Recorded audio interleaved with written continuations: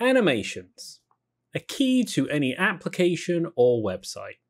If you overuse it, people will be frustrated, but if you underuse it, your website will look flat and not very interesting. So in this video, I'm going to be showing you how you can use Framer to animate your pages.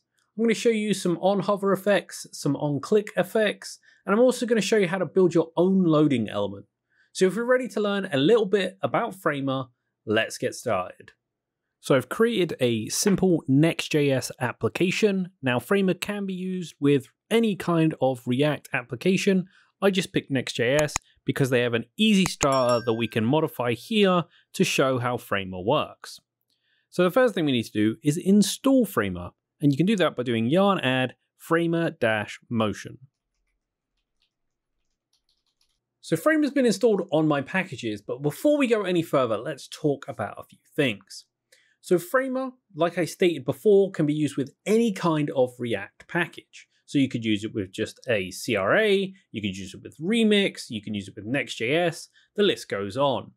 But one thing I want to point out is how easy they make it to declare that something is powered by Framer. So they use this simple declarative syntax to make it easy. So what you would do is attach the word div dot motion and then that allows you to start animating something. So now I've described how that works, let's start by showing an example of how to use while hover. While hover allows you to essentially, as it sounds, animate something when someone hovers and removes themselves from a hovering situation. So you can imagine someone swiping across with their mouse. So let's go back into the code and start using that. So the way I'm going to do this is I'm going to create a few separate components to show off all of this work. Now, the reason I'm doing this is it allows me to easily show individualized pieces of Framer, and it also makes it easy for you to copy and paste these if you want to use them in the future. So I'm going to create a components folder, and inside this components folder, I'm going to create a new file, and I'm going to call it animated hover.js. Then inside of here, we need to import motion. So import motion. And that's going to come from Framer motion. And now we can start using motion however we want. So I'm going to do an export const here, and I'm going to do animated hover. I'm going to pass in a children's property here, which is going to hold all of the children elements. And then I'll do an open set of curly braces, we can do a return statement, and then you can start making something usable with motion. So to do that, we do motion dot div, and then after that is we tell it how we expect this to work. So while hover, we'll tell it that we are expecting something to happen when we're hovering.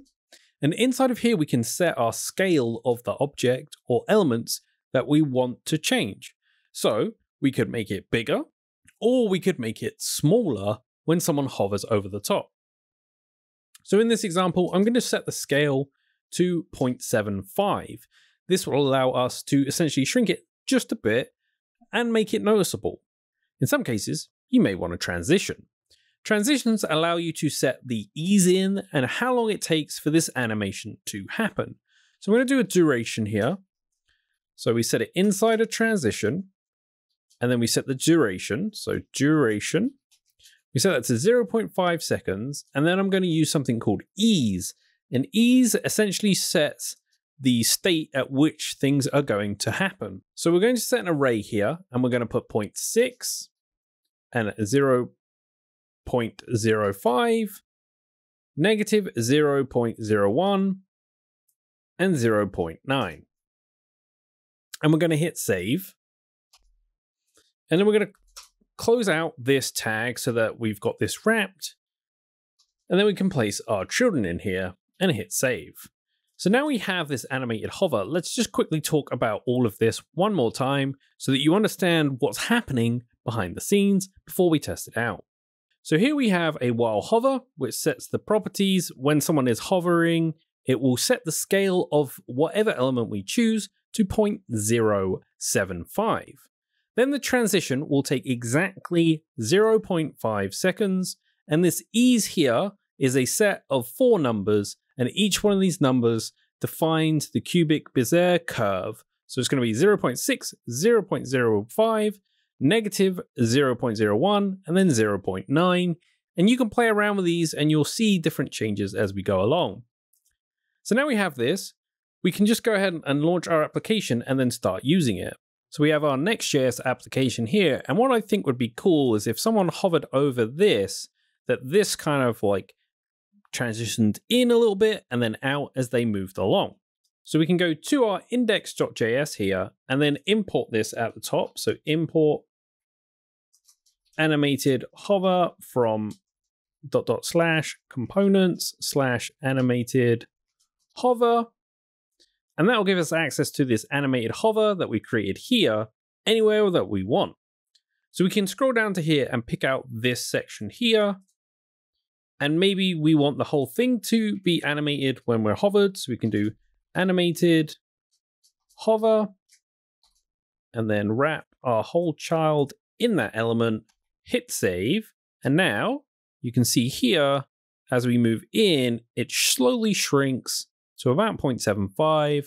And as we move away, it grows back to its original size, giving the impression that, you know, this is something interesting or something that you want someone to play around with.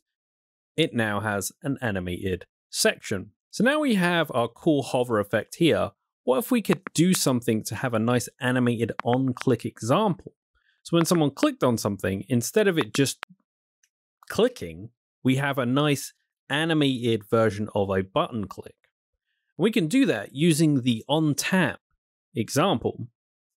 So you can actually take a lot of this code here and copy it and make a new component here. And we'll call this one on click. And inside of that, we can paste this code. And then we can start making a few changes here to make this work the way that we wanted. So this can be called on click animate. And what, instead of having this while hover, you can now have while tap. And while tap allows you to do the exact same thing. You can set a scale. So let's set this 2.5 and the transition will keep the same.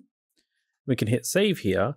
And what we'll do is we'll delete all the cards but one and we'll allow that one card to essentially have the on-click animation. So head back to your index.js and we're going to delete all of these out but one.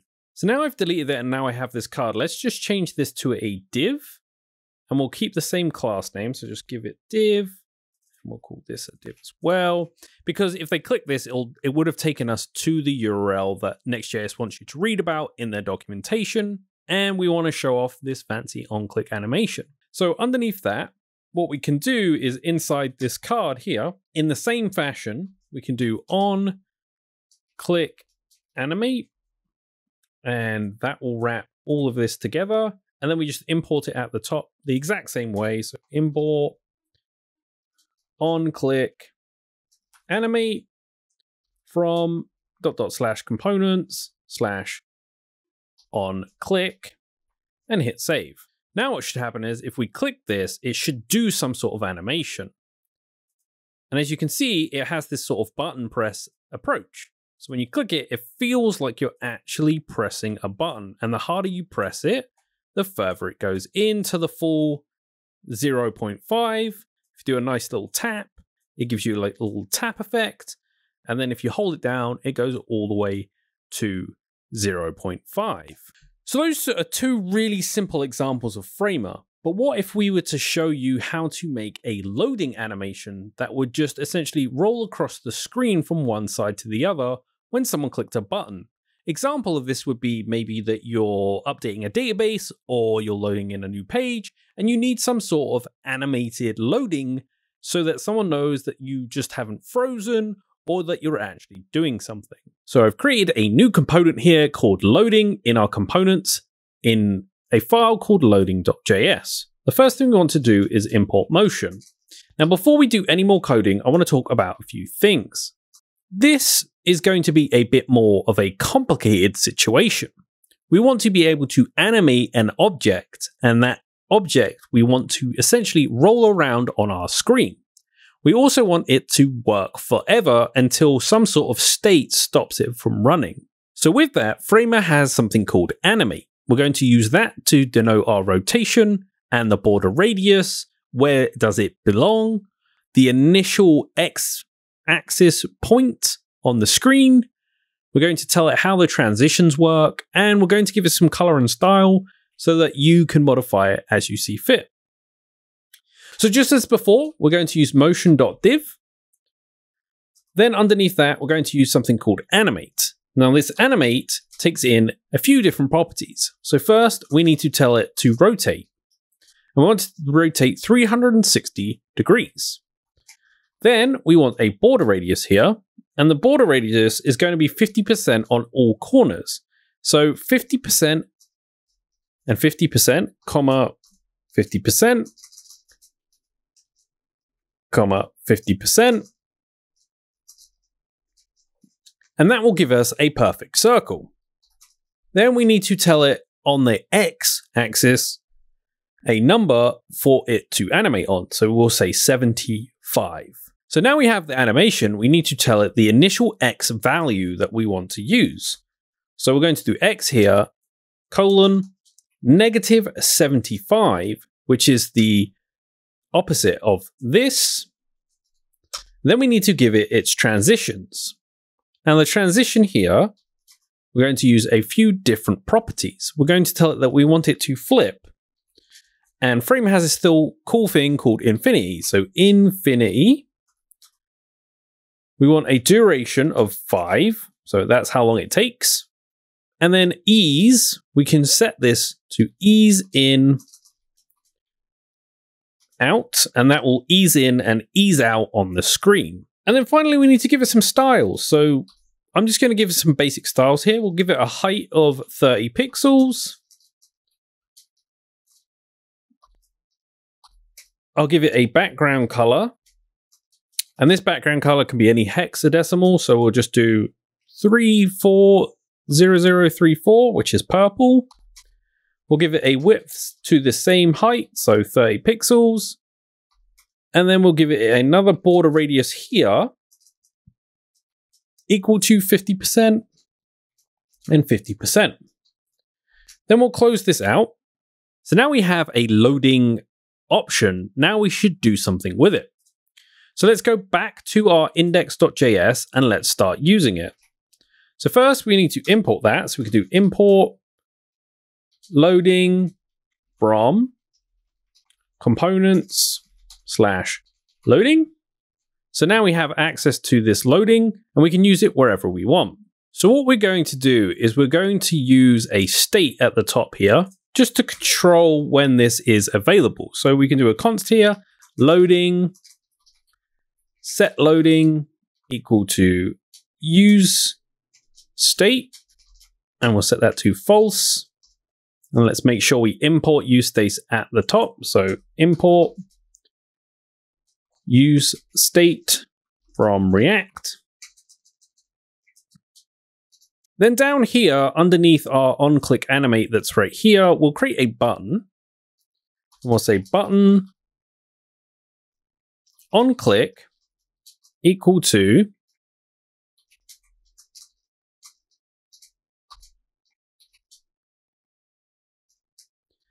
set loading to true. And then we'll say click here for something special. So now we have this button here that will set the loading to true or false. What we could do is set this section here to disappear, and then we could have our loading animation on the top of it. So what we can do is say loading and loading, and that will load in our loading component, and then we can just say the opposite here say if it's not loading, and then close it out here, hit save, and right now this shows up, and if we click this, what should happen is our Framer Motion will load and a loading rolling animation will appear on the screen. Okay, so let's click it. Okay, so we have this animation rolling on our screen, a bit, a bit slow, and it's not quite as animated as I'd want it to be. So let's take a look and see if we can improve this a little more. So go ahead and open up your loading.js component and let's look to see if we can fix this, make it a bit faster and make it a bit better. So first, let's change the height and width to 25 pixels because I think it's a bit too big, in my opinion. That's a bit better. So let's start by setting the duration to 2 and see if that helps the way that it loads. Give it a quick refresh. Click. All right, now we've got like a nice curvature here. As you can see, it kind of rolls pretty quick in the middle and then nice and slow on each end. And that's the kind of style that we want. We want our loading animation to be fast and then slow, fast and then slow. You can also play around with the border radius. So we could set this to 25 and set this one to 25 and hit save. And now you've got like a rolling kind of lemony shape that rolls around on the screen. We could also set this to zero and then you'll get a different shape and now you can kind of see that it's got more of a pursed edges and then a curved in the middle. And we can also set this one to zero if we want. And then we get like a nice diamond shape as it curls around from a square. So you can see how easy it is to make these animations. So there you have it, a really basic introduction into Framer. I showed you how to make an on hover, on click, and your own loading animation. So if you did enjoy the video, make sure to drop it a like Share this with your friends, leave a comment down below on anything you want to learn, and of course, until next time, see ya!